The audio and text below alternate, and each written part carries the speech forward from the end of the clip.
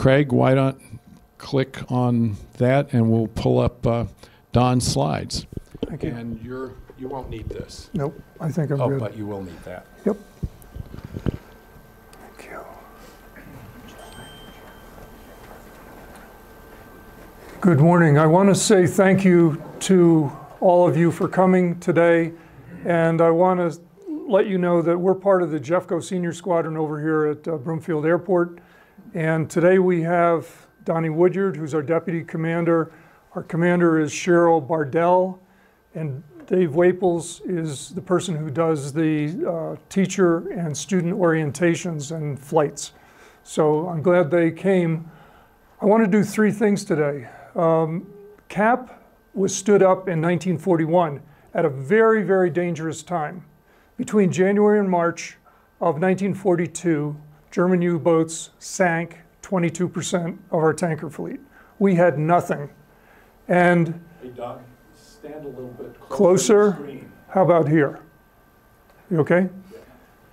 And so these were volunteers who stepped up early. And what I'm going to do today is look back at who these people were. We're going to go all the way back to World War I and talk about aviation because this didn't just happen. In, it took 18 months for the Civil Air Patrol to stand up 21 coastal bases to hunt U-boats, do search and rescue, all of that stuff. And it's just amazing what they did.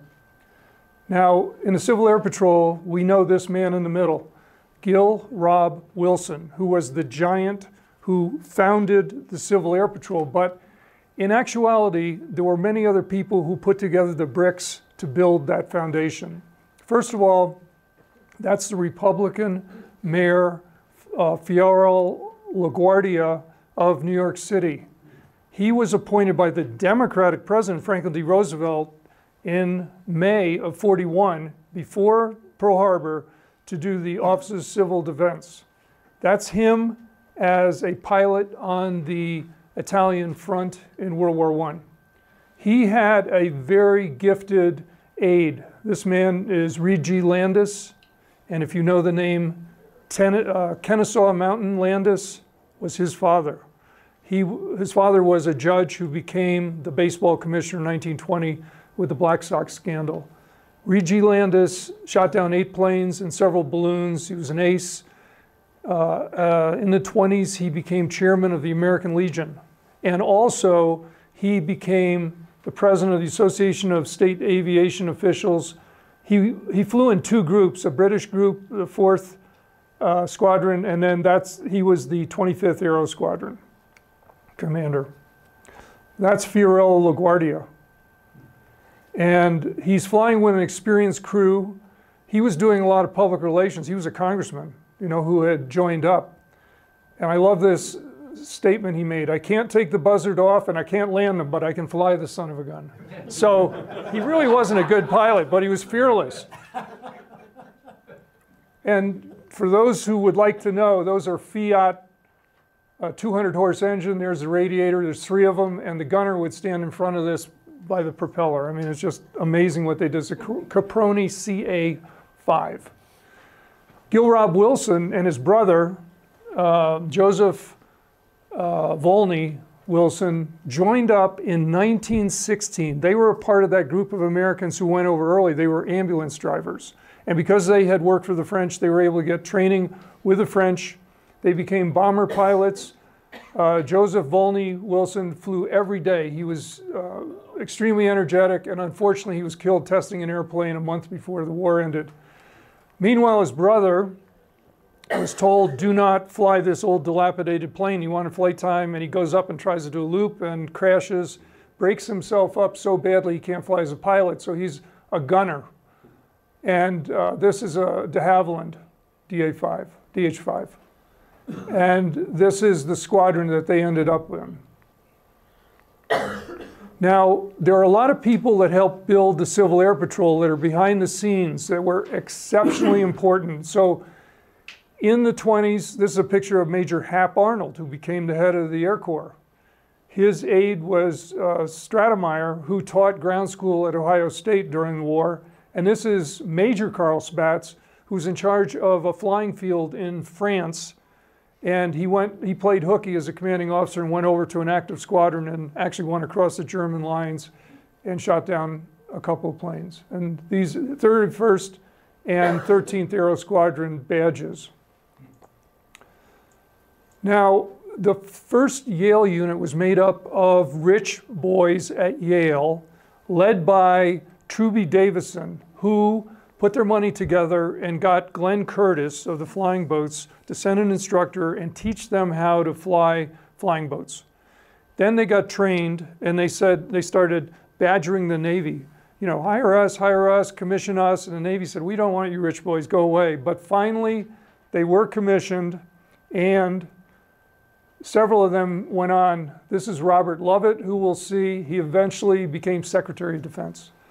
This is Artemus Gates, David Ingalls. Both of them were Assistant Secretaries of the Navy for Air. John Vorys, he was a uh, representative from Ohio who had a great to deal with the Civil Air Patrol. This uh, Ingalls was the only Navy ace of World War I. He flew with this British Group 213 Squadron. Now, as you know, there was uh, flying the mail was a very dangerous thing. Uh, it was privatized. There were three groups: San Francisco to Cheyenne, that's Rock Springs, that's Rawlins, Council Bluffs in our area, and then there was the Chicago and then the New York routes. They had 70-foot arrows painted. Uh, you can still see some of these if you go on the internet or visit them.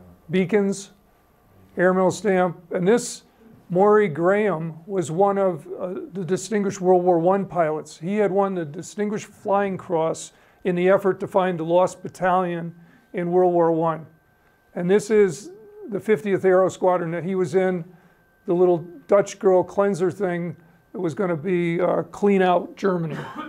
this was their thing. He flew for Western Air Express and in 1930, in a blizzard, he was flying from Las Vegas up by St. George, Utah. His plane went down, and they found him months later. But this is the kind of risks people were taking. This is our own Elrey Jeppesen, our airport Jeppesen terminal.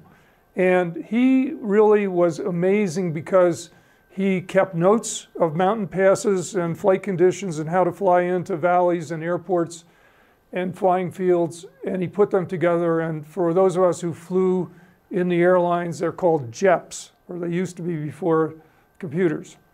And he and his wife are buried in Fairlawn Cemetery in East Denver. And that's a Boeing monomail. Now, women were heavily involved with the National Advisory Committee. This is Phoebe Omlie, and she chose five other leading women and they did the markings across the country. Notice it says north that way, and this is Willington, Connecticut. so you're flying along, not only do you have the arrows, but you have this, and they were in charge of that. This is Opal Kunz, who was one of the early uh, pioneers, and she taught hundreds of men to fly. Um, Phoebe Omlie said, if women can teach men to walk, they can teach them to fly. Now, these were trailblazers. I was amazed by this. The civilian pilot training program had over 400,000 graduates.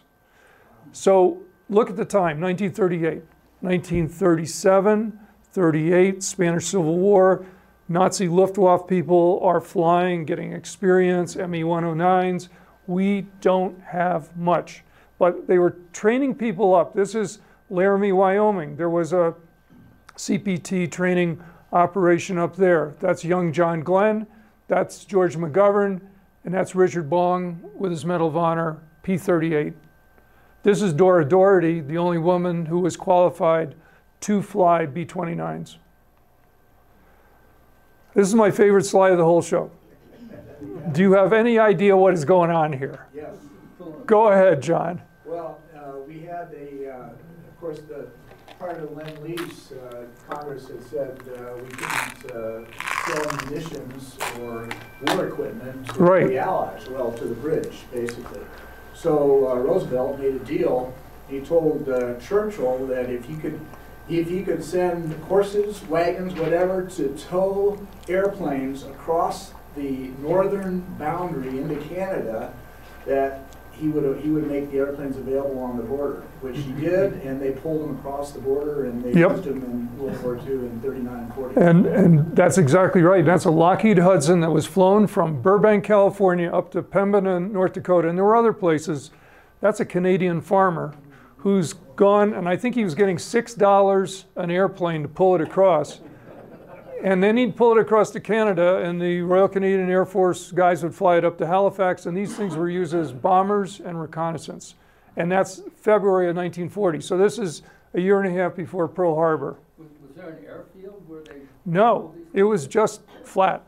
And it's winter, so it's hard. And uh, in that day, they didn't need uh, a real airfield. How And- many do they pull across? Hundreds. I, I, I need to look that up, but I will bet it's thousands because they were, uh, Roosevelt was going underneath, as John said. And this was very, very important. Plus, our people were not supposed to fly for the British or the Canadians, but a lot of people did go up there and they had to raise their hand and say, you know, I'm flying for Canada now. So the first Americans in into the war flew for the Canadians and the British. Did they have to renounce their citizenship? There was, there was. They had to stand up, and then they did some kind of a deal where they could sort of say it, but have both. But the idea was now you're a Brit or a Canadian. And unfortunately, a lot of the ones that went up to fly in Canada had some experience, and so they said, "Oh, you, you're a flight instructor. You're going to stay here for the whole war as a flight instructor in Winnipeg."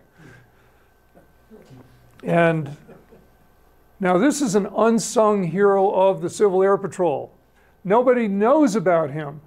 And I found him, his name is Milton Knight. He was wealthy. He was uh, on the board of directors of Libbey Owens Ford, Toledo, Ohio. And in November 38, he came up with the idea of a civilian air reserve for training amateur flyers and any interested in aviation. They set up, under the Civil Aeronautics Administration, CAR units in all those states.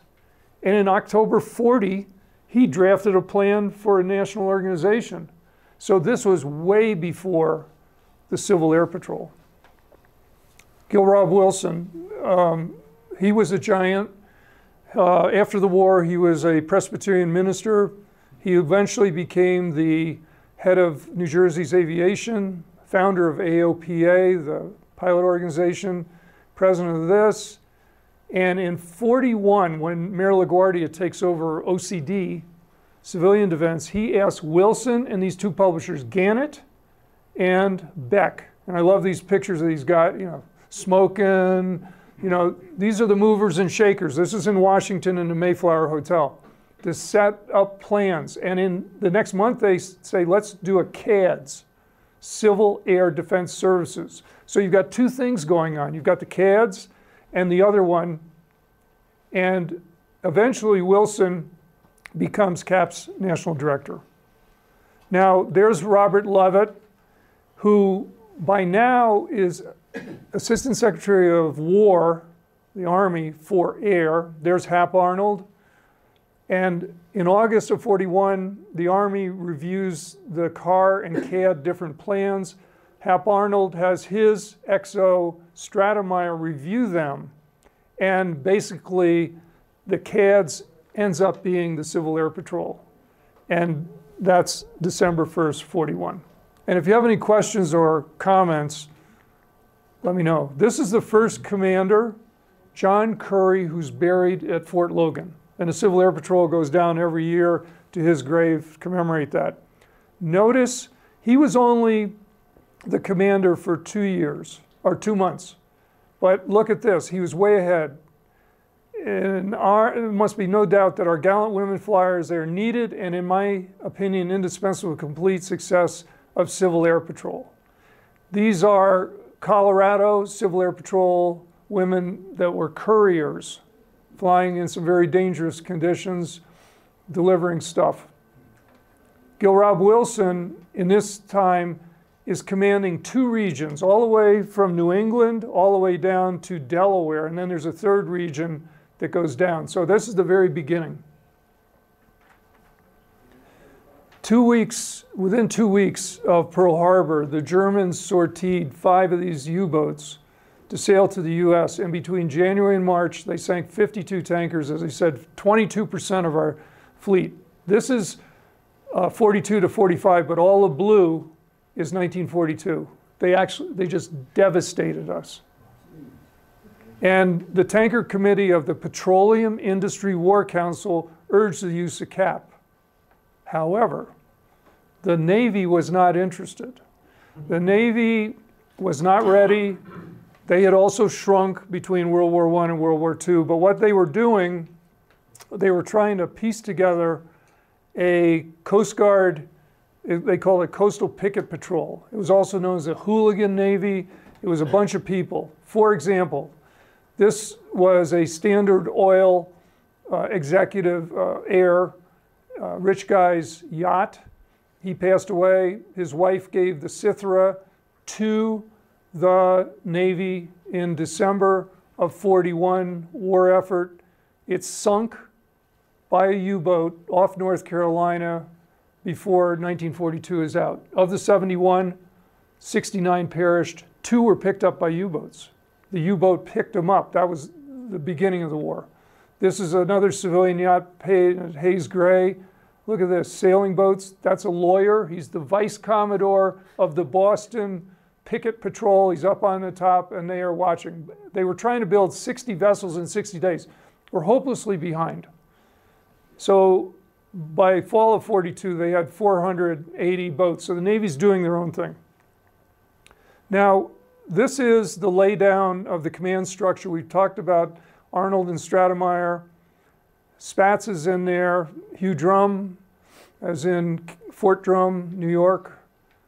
Uh, Robert Lovett, Assistant Secretary for Air. And in the Navy, both Ingalls and Gates held the job eventually of Assistant Secretary of the Navy for Air. This guy hated the uh, concept of uh, Civil Air Patrol but the Army helped. Now, if you look, this is a, another giant in the Civil Air Patrol. This is Gill Robb Wilson, and this big man, Earl Johnson, played football for Ohio State's 1916 championship team. He also happened to be David Ingalls' neighbor. And together, Johnson and Ingalls were both uh, representatives in the Ohio legislature, and they were buddies he becomes head of the Bureau of Aeronautics in Ohio, and you're going to see Ohio, Ohio, Ohio throughout this presentation. Ohio was a big part of the beginning of Civil Air Patrol, and Donnie Woodyard came from the Ohio Civil Air Patrol. They, here it is, Earl Johnson established in 41 the Ohio CADS program, which was Gill Robb Wilson's idea.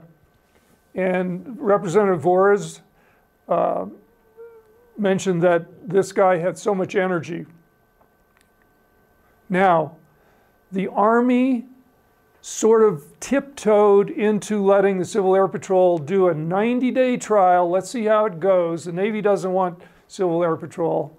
And they started doing convoy, escort, and anti submarine patrols. So a lot of the effort in World War II was searching an area, search and rescue, picking up survivors, looking for submarines. You know, at that time there were no snorkels, so submarines had to rise and charge batteries every night. The first task force, which became Coastal Base 1, Atlantic City, second task force, Rehoboth Beach, Delaware. Anybody want to take a guess why those were the first two bases? Delaware River goes up to all the oil refineries. So at that time, Philadelphia was the center of oil refining, and from there, the oil would go over to Britain. So this was exceptionally important. 75 horsepower Stinson and a Sikorsky, some rich guy's uh, flying boat, 300 horse. That's the Blue Hens. It says, quick, uh, dive. Here comes der Blue Hen and the Blue Hens of uh, Delaware. Now, down in Florida, this guy was a giant. Mike, uh, Major Ike Vermilya, he was the guy that owned Palm Beach Aero. It was a fixed base operator. And they put together a Florida Air Defense Unit. This is before Civil Air Patrol, and they all got together. And so when the Civil Air Patrol actually happened, he threw together this in a matter of weeks. And they were doing patrols off the eastern part of Florida, which was extremely important. This is their uh, insignia, and you can see this struggling uh, Piper Cub trying to carry a 100 pound bomb by Zack Mosley. And this was the third task force, Lantana, Florida, near Palm Beach. This is Ike Vermilya. And it says this is a 3rd Interceptor Command of the Army Air Force. Really liked what they were doing. The exercise enabled us to test the training of observation post, filter, and information center personnel and communication details. So they were doing what the current Civil Air Patrol does as an auxiliary to the Air Force. Now, sometimes our planes go out and act as targets or relays and things like this. And so these guys immediately stood up in the first months. And here are some people from Florida. And I just want to point out this is a patch. That's a U boat conning tower. That's a bomb coming down, and that's what he has on his. So he apparently looks to me like he's had th- three successful sightings. Now there's a whole lore that the Civil Air Patrol sank two submarines, but I had that in my thing when I gave the national talk, and I said, "Don't mention that. Don't mention that." That probably didn't happen, and it didn't. But they found a lot. Now this is what was going on. That's a burning ship off of eastern Florida. So these are Civil Air Patrol, that's Civil Air Patrol insignia. These are active duty Army Air Force, Air Corps. And that guy looks like he's got Royal Air Force wings. Yep. He could be Royal Air Force, I don't know. This man, uh, Harry Blee, who looks like he's all business down at Albany Municipal Airport with the Georgia Civil Air Patrol, he was retired and he was the CAP operations officer. This is April 15th. This is four months after Pearl Harbor. Here's a page, it's secret. Here's how to hunt German U boats. Here's what they do, here's how they surface. And CAP was getting about 850 volunteers per month. You would get seven to eight dollars a day for air crew and five dollars for ground crew. So in the Gill Robb Wilson, Earl Johnson, and Harry Blee are the ones that created these patrol bases between March of 42, go around another year until the uh, Navy took over uh, its own operations August 31st, 1943. And we're going to talk about where these bases were put. So first, we're up here, one and two, and then Lantana, Florida. As you can see, they built out through Flagler Beach. Then number six is St. Simon's Island, Georgia. And seven, Miami, Florida. Eight, Charleston.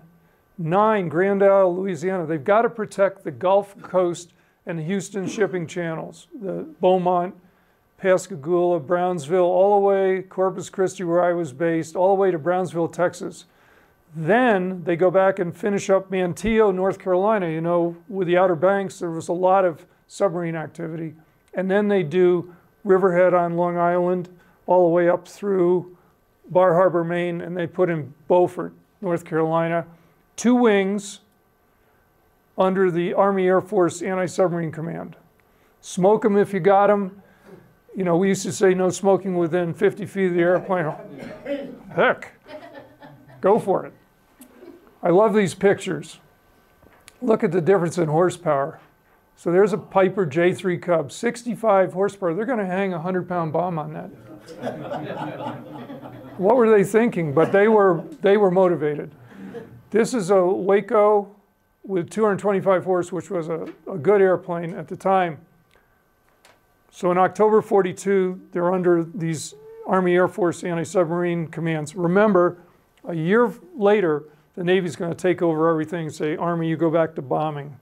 no more playing around in the ocean. this is a typical person. Um, Henry Phipps, he just learns to fly in 1939. He's the personnel officer, but then they let him start flying. By 42, he has 500 hours over water alone. He's also ditched, and then he becomes a procurement inspector. So, who were these guys? A lot of them were older. They couldn't get in the Army Air Corps. Army Air Corps was washing out 40% of the people. So, th- these were volunteers. Some of them brought their own airplanes. So here is Henry Phipps again. Now he's got better equipment. At the beginning, they couldn't even get Mae Wests. They had no flotation devices.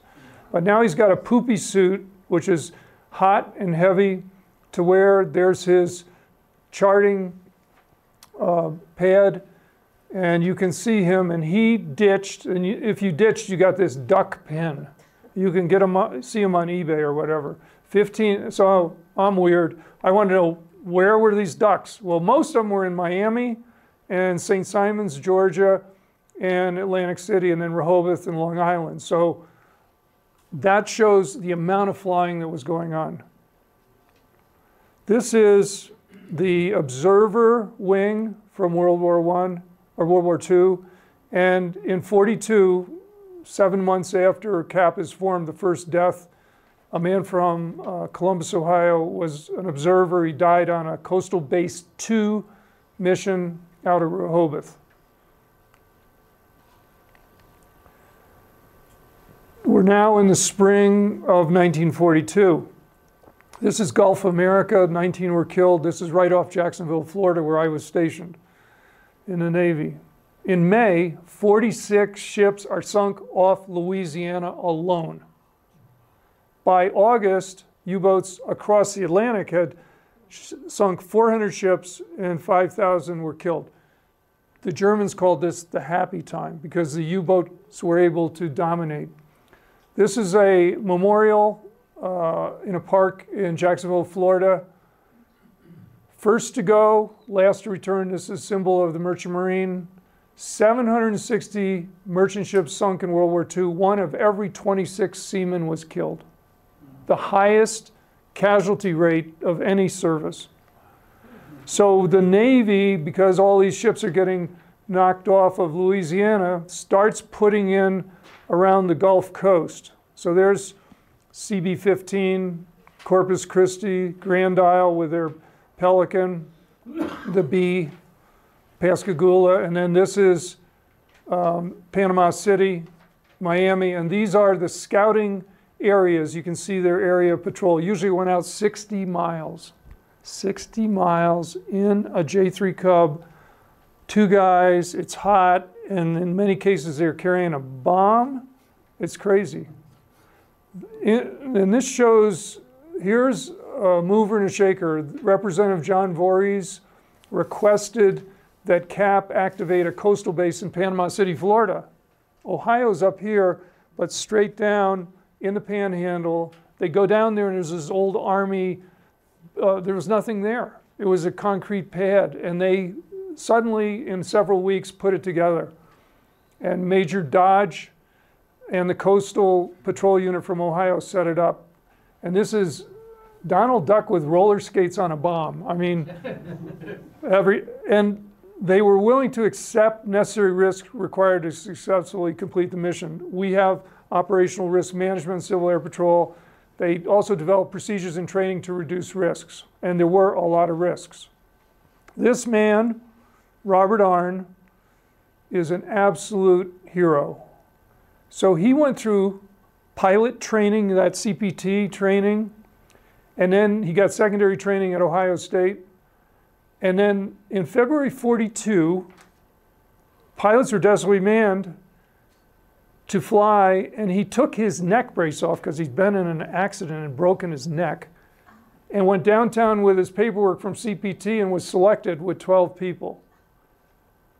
In 10 months, six of the original 12 pilots were dead. They were flying out over the Gulf of Mexico. He himself flew 179 missions, 557 hours, so that's over three hours each. And then he went on to fly all sorts of transport in the Army Air Corps. Now, this is a picture of Earle Johnson congratulating Colonel George Stone, uh, who was commander of the Air Wing, uh, the Ohio Wing, 42 to 47, and was also, after the war, the Civil Air Patrol Board uh, chair.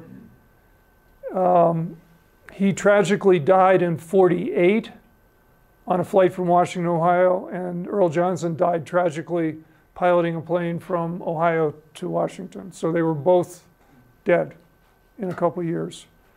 In the middle of all this, they put together a cadet training program, October of 42.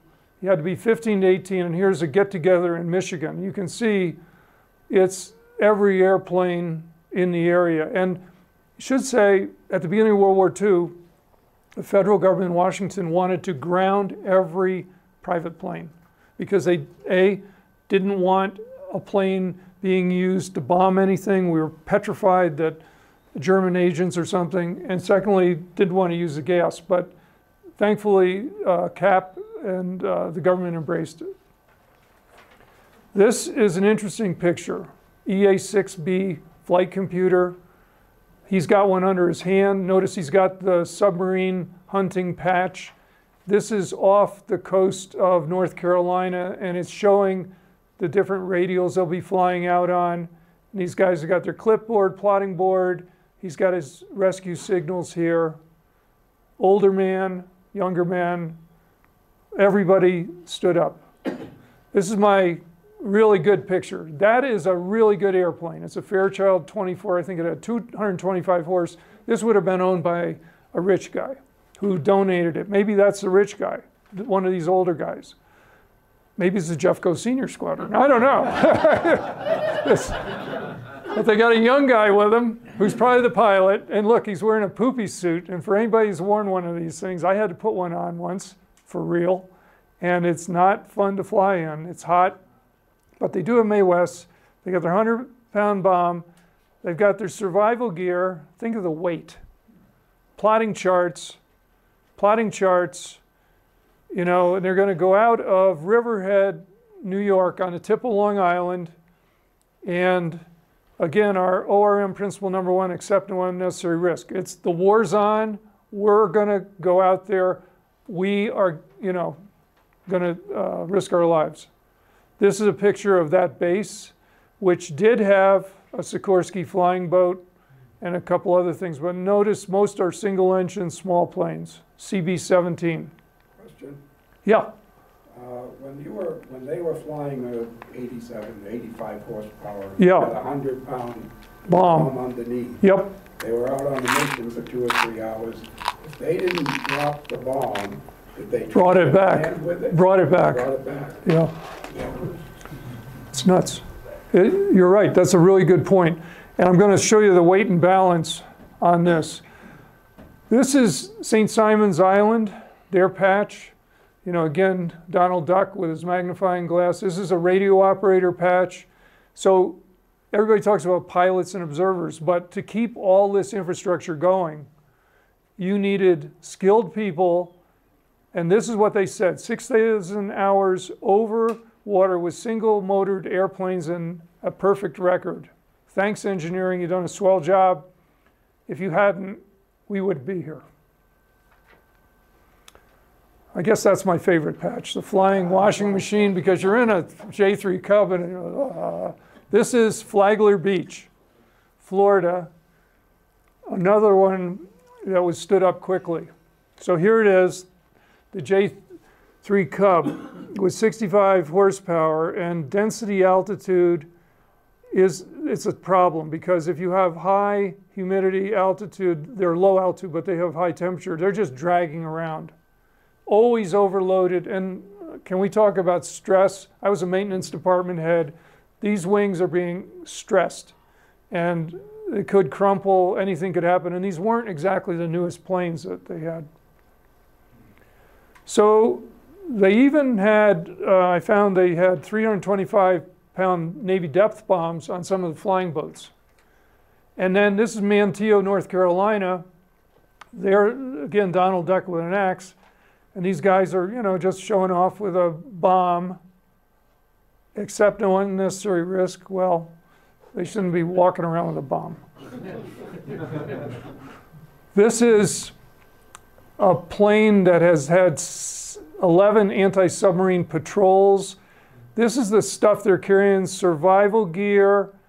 These are small, either um, like grenades to drop or smoke bombs, because a lot of it was to mark where the submarine was so that the Navy could send in their few anti submarine uh, boats. And Frank Blazich was the Civil Air Patrol historian, and he wrote this book. He's done the most work if you look on the internet.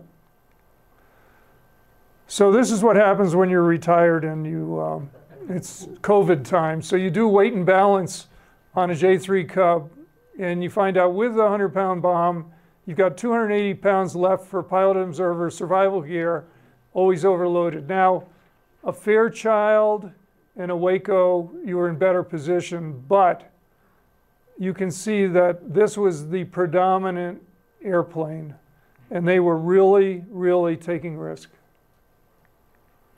This is from Virginia. It's one year into it, December of 42. This is a restricted mimeographed newspaper, and it says, We, the undersigned of CB4, whose duty is to guard the shores and protect it from enemies who are bent upon death and destruction, on Christmas Eve 42, solemnly swear we're fighting the best of our abilities and we'll fight even to death those who, so that those who live in this country may be equal. That's very interesting. Here's some pictures. This guy's from Oakland, California. This guy was at St. Simon's, Georgia. Women. Colonel Arne. And this is Hap Arnold in 44. Thinking back, it was set up and went into operation almost overnight. It patrolled our shores at a time of almost desperate national crisis. Uh, danger, bombs loaded. That guy's got his revolver and looks like about 12 extra shells. He looks like he's ready to go after that U boat. And this is what we say in CAP now before you fly I am safe. You know, are you? And these guys were flying in all sorts of conditions, fatigue, etc. In April of 43, CAP was transferred from uh, the Office of Civil Defense to the War Department, to the Army Air Forces. And at the end of August, the Navy finally took over anti submarine patrols. They didn't want CAP. So CAP went with the Army Air Force as the first bomber command. And not my favorite guy, he was a mean guy, Admiral King. But uh, he said the service and the Army and uh, him agreed they would, uh, the Navy was in a position to assume the duties. He ordered deactivation of Coastal Patrol, sundown August 31st, and the Eastern Defense Command, Army Air Forces, 1st Bomber Command, and disbanded the ASW wings. So now they're out of the ASW business, anti submarine. But he gave them a BZ, a well done for doing this. And this is, I found this on the internet. Look at that guy. He's got his tie perfectly. He's got that cocked hat, first lieutenant, proud Civil Air Patrol guy. So, what did they do? They did target sleeve towing, which is dangerous. With these crazy new Army pilots, they did forest patrol because, of, like in the Pacific Northwest, the Japanese were sending over balloons with flares trying to burn it. And they did this was the land patrol lower, and there, two died and 13 were lost. They did search and rescue, six died.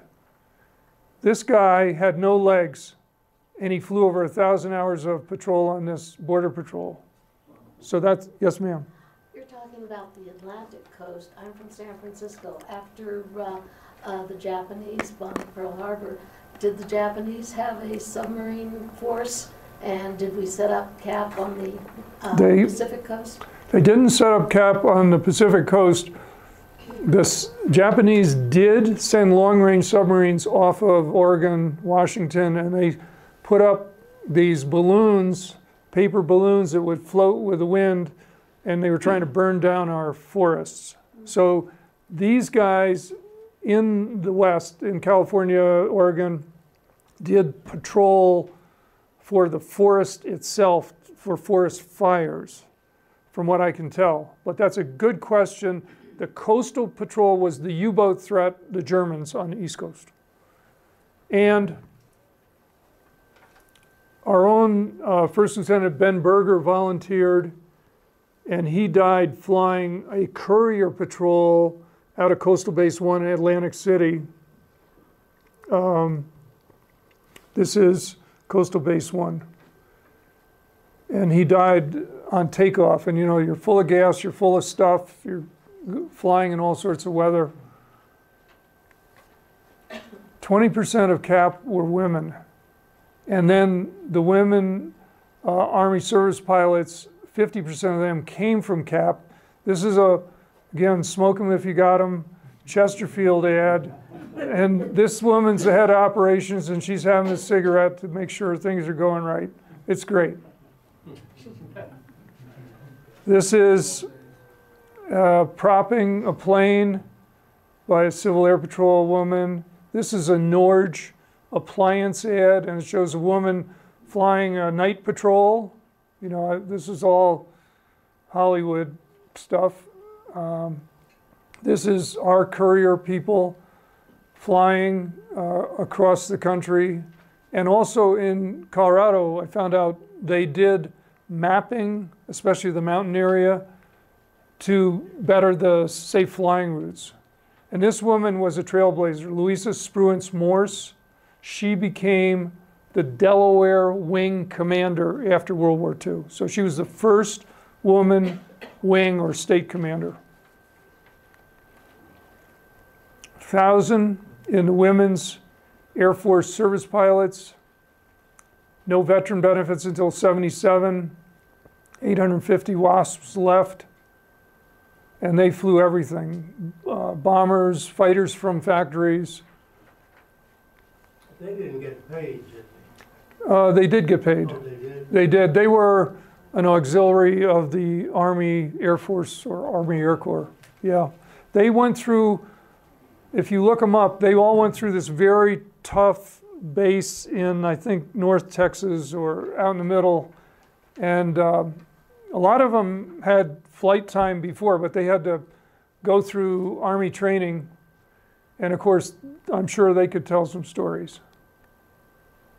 I put this in to talk about the Army Air Corps and the Navy. Look at, we talked about the civilian pilot training. Air Corps trained 192,000. The washout rate was 40%. 15,000 died before they went overseas. 40,000 in action. The Navy, look at that, from 4,000 to 60,000. High washout rate, same. Just in 1945, 3,000 dead. Three, th- and because of the war, they were willing to accept this. Some guy with 200 hours, 250 hours out on a boat. Hey, John, when you went to the, when you were, got your wings, uh, how many hours did you have in total? Got my wings? Yeah, because he was a carrier 250. 250, but very highly trained and, uh, you know, very rigorous. And uh, these guys are being pushed through. But those were non-combat fatalities then? Yes. It's a, a dangerous time to be in the air. What happened to this plane? It was strafing in North Italy near Grosseto, and a guy got a little too low. and P 47, he flew it back. It was a rough runner, as we say. There was, a P3 that That thing that. still flew? That's true. That? Yes, I do. That, I do. I was not, yes. So again, lessons learned by the military and CAP. Now, uh, the procedures. And this is the overview. CAP reported 57 subs. Now, some of that was, we saw a wake and it looked like a sub. But this is big. They rescued 363 people at sea, flew 24 million miles in 18 months of coastal patrol. 90 planes lost at sea, 114 ditched, 26 died. Now, that's through 43. That's just in 18 months. Then the total 200,000 served in some sort of capacity in CAP. 68 died, 150 airplanes lost, and Roosevelt awarded 824 air medals to CAP. And there's the third Task Force Lantana. And here's Earle Johnson beaming because President Truman in 40 uh, signed uh, Public Law 79476, an act to incorporate the Civil Air Patrol as a permanent thing in 1946. He died, and after that, in 48, a new law designating CAP as Air Force Civilian Auxiliary, which we still are today. Next. This is something I found on the internet uh, from Embry Riddle. They have a photo section, and this is in Florida, New Smyrna Beach. And over the top of this dilapidated Civil Air Patrol hut that's in disrepair, it says, Those things we do that others may live, which encapsulates, you know, all these people that stood up and uh, in many cases gave their lives uh, during World War II. So that's it. Thank you. Any questions? Yes. When um, the caption was um, that, uh, that we all may be equal, Yeah. was, they were referring to being equal before the law and opportunity. Yeah, Right. I think so. And that really struck me because that was in Virginia, out in the, I lived in Virginia for quite a long time, and where they were was pretty segregated. And whoever wrote that up was maybe from the north or whatever. Yeah, I see. yep. John. I John? can't remember what uh, year, when did the Air Force take over uh, administration of the civil? I can't I, remember. the Air Force was created in 1947 as a separate service. And then in 48, they created the Civil Air Patrol and that public law as an auxiliary. So it seems to me that that was the defining moment around 48 when they made an auxiliary. But I, yes, sir. Uh, Why was Ohio such an important focus? Because the Wright brothers and Wright-Patterson Air Force Base and those things, I'm from Dayton. Yeah, so you're, I think you're exactly right. I think it was because Uh, all that, the Air Force research and development test, and also because Ohio was a very big state in comparison to the other states at the time, and the politicians had a lot of sway. And Donnie, you were there. What's your view on why Ohio?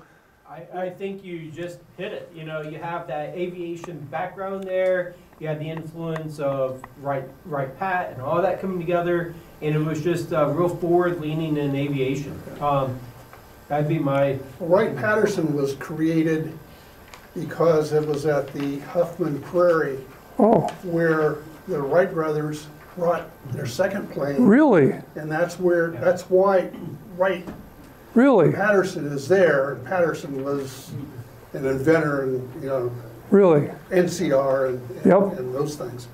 But uh, uh, that's where, that's why it's there. And it's still there, the flying field that they were at. There's reproductions of the little shed and whatever. Uh, And above that, looking over the Wright Patterson area is Wright State, which is a university. Right.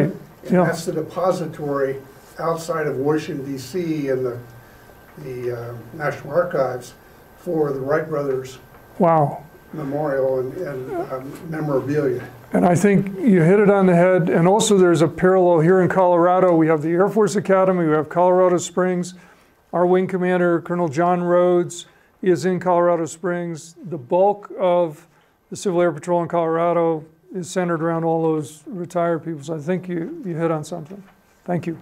John? Well, I just grew up in Columbus, Ohio. Okay. And that was a big aviation there. I wanted to fly ever since I was a kid out of Right. Columbus. But uh, they produced airplanes uh, during World War II out Yeah. Columbus, at the uh, Columbus, Port Columbus uh, Airport. Uh, And uh, so there were a lot of, a a lot of pilot training Right. going on, I think, all during that time. So there were a lot of aviators, a lot of pilots. Yep. That was, uh, yes, Lou? The training base was at Ranger Field, Sweetwater, Texas.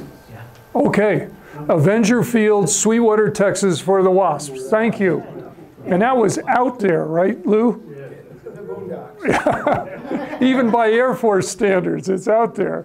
Yeah. And by the way, uh, talking about the Wasps, we have a- an excellent uh, display in our World War II women's room of stories of women wasps from Colorado Wow. and what they did. Wow, that's wonderful. Yes, sir. Well, we had a woman walk about four or five years ago. I don't know if she's passed or not. A local Really? woman, yes. Yes, She used to visit out the Jeffco squad. right. Yeah. Well, thank you. That's great. And their stories, and can you imagine what they went through to go down to Avenger Field, get through the training, and then go out to some factory and be stationed and, you know. Who knows what was going Well, on. they didn't get, uh, after the war, you know, they were disbanded, they were, they had to pay their way home. Wow, Uh, They were, they were paid. Yeah. Uh, They did not have veteran benefits. yep, And if they, e- even if they died, the military wouldn't pay to ship their. I, And I think they had to chip in uh, for funerals. One of the things about their, when they were flying, a lot of times when they went to the factories, at the factories, uh, because test flying these brand new airplanes took pilots time and stuff, they simply would write it off. So these gals were getting into airplanes that they'd never taken off. That's right. Oh right. my goodness. Just because it's a war effort, just get that plane to that base. And so they were taking huge risk. And I don't think they had any quality control for anything at that Right. time. And I those, had, a- I had an uncle who worked in factories and yeah, he said there was no quality control. nah, The airplanes were pulled offline and they flew, yep, you know, whether it was completely assembled or not.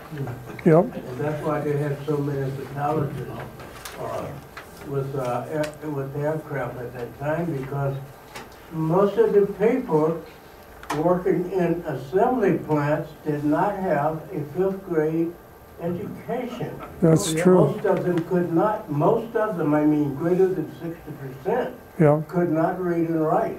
That's amazing. And also, a lot of the people that were skilled had been drafted or had gone into the military.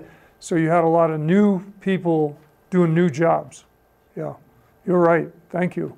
Yes, ma'am. I suppose there are several books that cover a lot of the information you've given, right? Yeah, uh, the best one is if you look up Frank Blazich, B L A Z I C H, and he has written this several things because he was the historian. That's probably the best. But I uh, cruised around the internet and it was amazing what you can find out.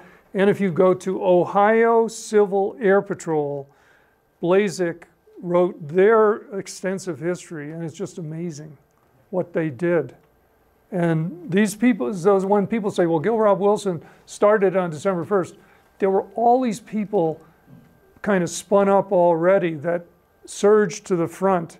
And Gill Robb Wilson had to corral them and, you know, start creating these bases. But these people flew on their own nickel with their own airplanes to these bases they didn't know. Our guy from Denver who died, he went all the way from Denver to Atlantic City flying in, you know, bad weather and everything else. They were amazing.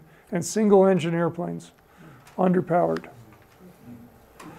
Um, any, uh, yes, Dave? Do you know what the reasons were for the aircraft losses? Um, from what I can tell, reading, you know, the, the accident reports, a lot of them were bad weather. A lot of these people didn't have a lot of instrument time, like they rolled in. Um, a lot of them, one of the problems they initially had was they were flying by themselves. So if you went in the water, nobody was there to call it in. So then they started flying in twos, in a pair. And then the other problem was, so you're in the water, and it's the winter because we have to fly all year round. How long can you last until that guy, maybe with a radio, maybe not, get somebody to come out and rescue you and you're dead from exposure? So I think a lot of it was weather, icing up. Um, there were, out of that uh, one in Panama City, of the six people that died, two of them came together. In other words, they had a midair. And they, you know, these are guys with two or 300 hours maybe flying and doing these really tough jobs. So, so, yes. Is there anything left of these coastal patrol bases? Not really, because there are signs, and if you look on the internet, you might be able to find out where they were, but in many cases, like the Lantana field was taken over by something bigger, and they might have a sign up. But these, this was also a flash in time. It was 18 months.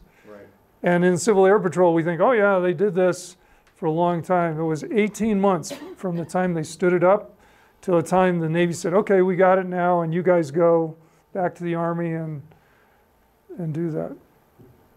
Yeah, you might talk about the regions, the Yeah. Civil Air Patrol re- nowadays, you know, we're the mountain region. Yeah, we're the mountain region with Colorado, Utah, Wyoming, yeah, New Mexico. And so the regions are set up with a regional commander, and then they have the state commanders who are wing commanders.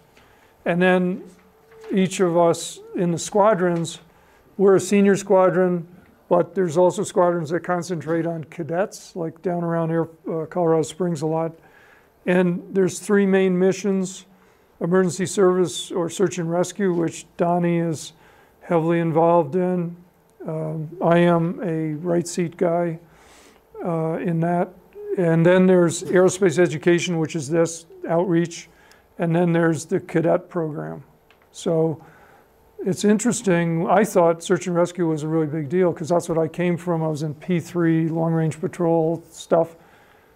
It turns out that in the Civil Air Patrol now, with all the satellites and with all the GPS and everything else, the, there's, there's more of an emphasis, I think, on cadets in aerospace. It, there's a trend going. Is that, Dave, do you feel that too? Yeah, I agree. Yeah.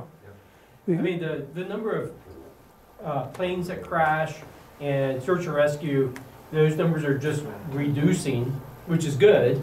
Um, and then technology, uh, Civil Air Patrol has a cell phone forensic team um, that does national forensics. So if you have a lost hiker, instead of going up and flying around, they use cell phone forensics and they're like, this is where they're at. So the mission is changing. And we have some interesting people because Donnie happens to be the head of emergency services for the state of Colorado and CDPHE department.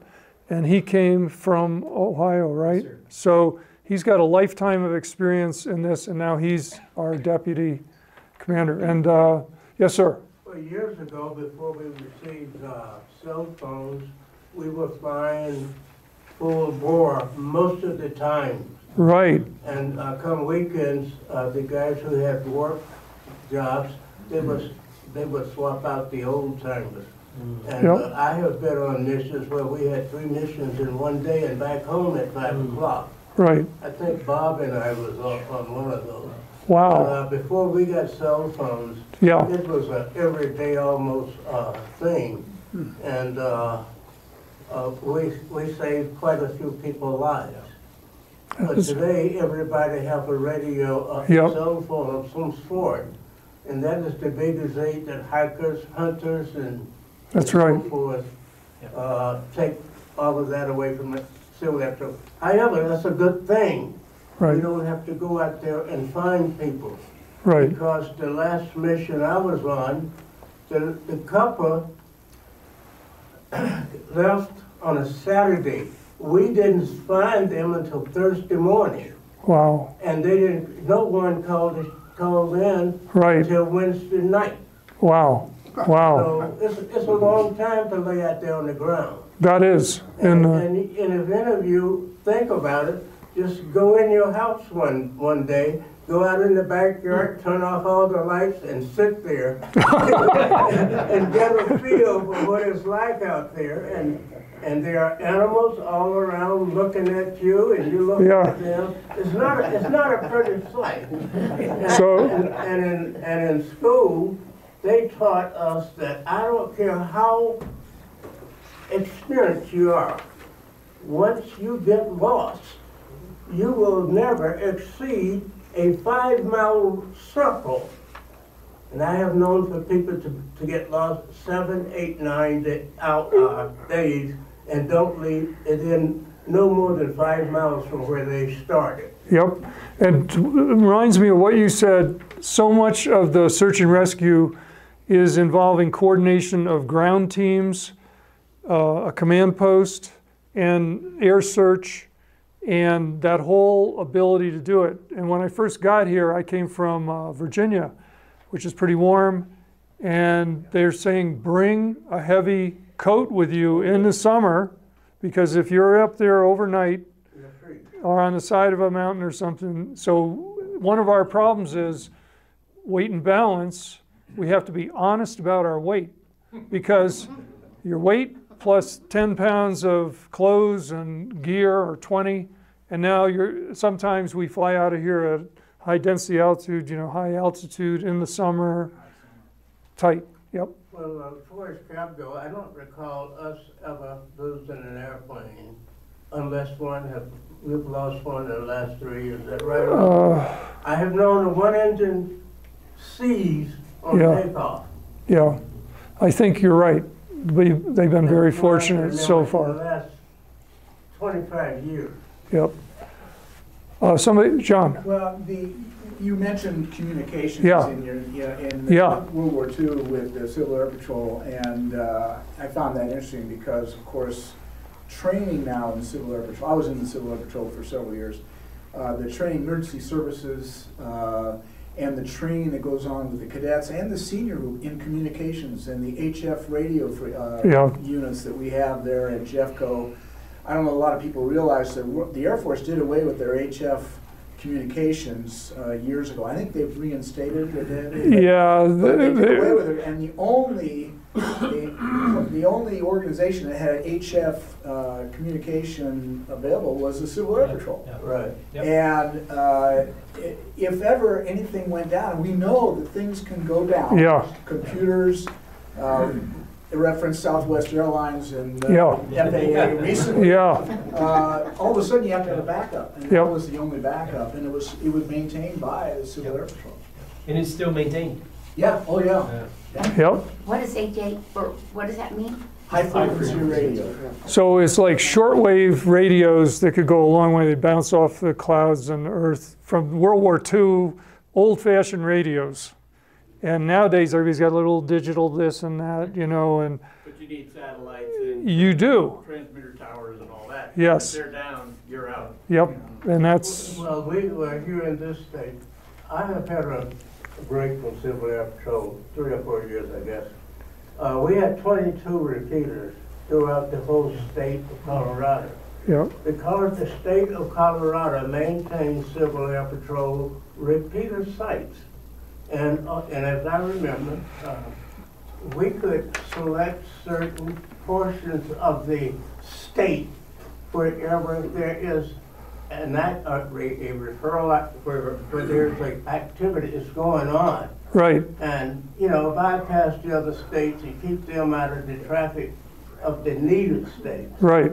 So, uh, we, as I recall, we had the best communication in the United States here in Colorado. And it's an important place to be because it's in the middle with the mountains. And by the way, I want to just segue during COVID, people like Donnie and others flew PPE when there wasn't any PPE to small places, Indian tribes, places around the state. So Civil Air Patrol was used in uh, making PPE and uh, flying it.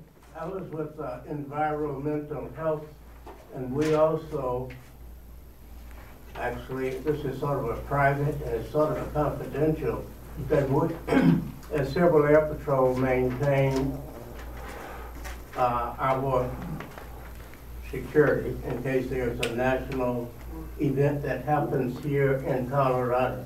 Right. Because of, we are number seven on the most, on the possible uh, hit list. And uh, of course, we have uh, water supplies here in this state Right, that, that are su- supplies like 17 or 19 states with water. yep, And That's right. That's very important. that is very And of important. course, we got Buckley out here also. We got Buckley and we got Cheyenne Mountain and all of, thank you, that's a great. Any other, yes, ma'am? There are so few of you really, the Civil Air Patrol people that, you know. What, did you notice, uh, some kind of, um, pattern as to why you guys got into Civil Air Patrol as opposed to the other services? Um, They were in the other services. They- Yeah, I'm a Navy guy, so I'm a lieutenant colonel in the uh, Civil Air Patrol, and I, that still makes me feel funny, because I'm a Navy commander in the old days. And so is John. Okay, okay, but you decided to go into it, not just stay with the Navy because the Civil Air Patrol represents something to you. I So will tell you, there's a lady named Dr. Barb Adams, who is our head of aerospace education. She and I taught courses for DU OLLI on aviation, and she joined the Civil Air Patrol, and I, went, well, I guess I'll join the Civil Air Patrol. So she, I help her, but she's the, the key person in our squadron in, and all, and she's a PhD person, so there's a lot of people from different walks of life. There's an astronaut down in Chicago, um, Colorado Springs. There's people who come out to do this volunteer work. Donna, you want to say anything, or Dave? Why did you get in Civil Air Patrol, David? Uh, well, I've always been involved in aviation and, uh, my education and everything else, and, uh, was looking for something to do in retirement. And so I started more, a little more than two years before I retired. Um, So- So kinda how I got involved. So there's, Retired, yep, yeah, so retired Navy, retired Air Right. Force. So, so like, like you say you're retired, so to answer your question, I, I've been in the CAP since seventy-seven. yeah, So I started out as a cadet. Cadet. So you have Yeah, people like me that started out as a cadet and like, it just got in my blood and there's, you know, I'm gonna die, you know, bleeding blue. But then you've also got parents of cadets that join the program. right, And they help out, and those are usually the people, those, that's probably the bulk of people that are between, say, thirty-five and retirement age. But then you've got the aviation guys who are, you know, they're private pilots or maybe even commercial pilots or whatever, but they, their civilian job doesn't allow them to fly, but then the Civil Air Patrol allows them to fly and actually get real training and contribute. And I maybe put words in your mouth, but it's kind of a rewarding way to fly and not have to spend a lot of money out of your pocket. yep, So those are kind of the three main groups. right, go ahead. reason why I joined the Civil Air Patrol, my son came home one night, and he wanted to take one of the, uh, check to join the Civil Air Patrol because he wanted to go to the Air Force Academy. However, he went into the Naval Academy. Good for So him. that's why. Smart. Smart. Good for you, Ma'am, the reason why we joined is because I'm ex-Army. And so I have many years of, uh, two tours in Korea. But anyway, that is one of the reasons why. So my son in turn, in,